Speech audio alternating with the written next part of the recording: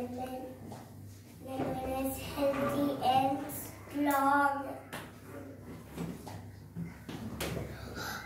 Lemon is strong and healthy.